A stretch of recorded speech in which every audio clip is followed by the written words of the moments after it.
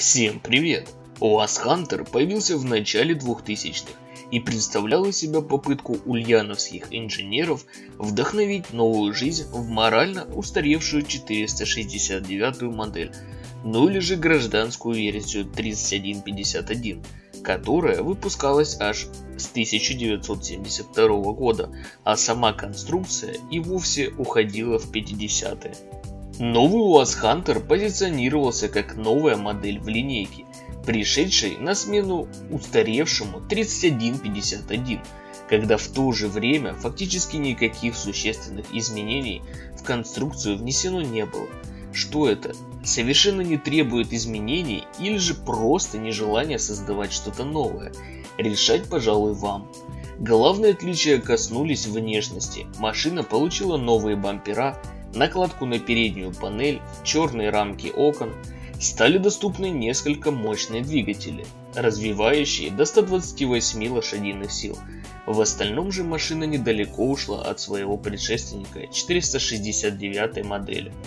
Основная целевая аудитория, создающая спрос на внедорожник, это, как правило, рыбаки, охотники и любители активного отдыха, которые не особо привередливы к комфортным условиям – но даже они вынуждены после покупки нового автомобиля вкладывать в него немалую сумму, чтобы доработать и сделать машину более-менее пригодной для ежедневного использования.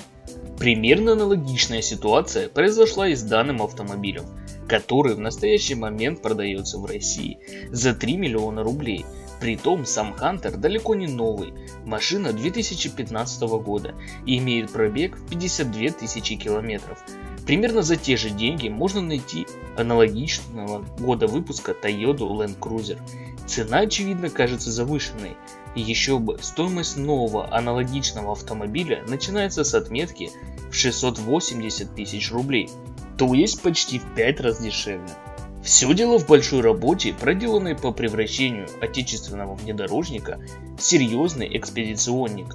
Список доработок включает в себя практически 100 позиций – и скорее всего ту цену, которую уплатил владелец за тюнинг и доработку внедорожника, намного превышает запрашиваемую стоимость за автомобиль. Это лишний раз подтверждает, вкладывать в такие машины можно примерно с таким же успехом, как скидывать деньги в бездонную бочку. Среди основных работ можно выделить полную замену подвески на более серьезную фирмы Ironman – замены бамперов, лифт кузова и подвески по 50 мм, установка более мощного генератора, система отвода картерных газов в подкапотном пространстве, установка кресел BMW 7 в кузове E63 и полный перешив салона, замена всей электроприводки на усиленную из интересного стоит отметить задние фары от нового Mercedes-Benz G-класс и зеркала от Jeep Rubicon. Перечисленное выше является лишь малой частью проделанных над внедорожником работ. Теперь в этом внедорожнике есть практически все для серьезных дальних путешествий. В то же время произвольно задаешься вопросом, а был ли смысл тратить огромную сумму на попытку сделать из УАЗа нормальную машину?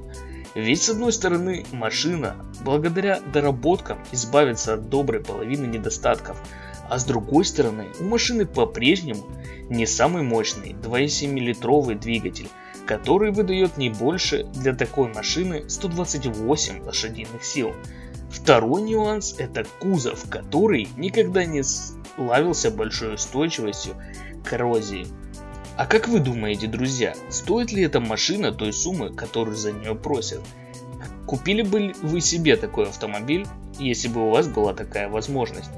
Пишите свое мнение в комментариях, также не забывайте ставить лайк этому видео и подписываться на канал. Всем спасибо.